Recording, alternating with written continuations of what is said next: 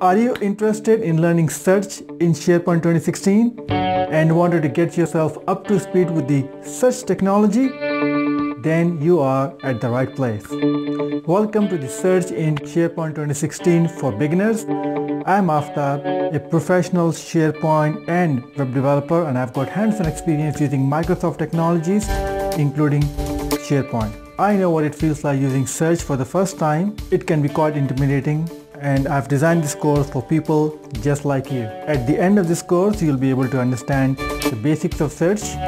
You'll be able to create a search page from scratch, add web part to the search results page, and also you'll be able to enhance the user experience of the search page by introducing what is known as query suggestions. This course walks you through the program from the very beginning and a general knowledge of SharePoint would be ideal but not necessary.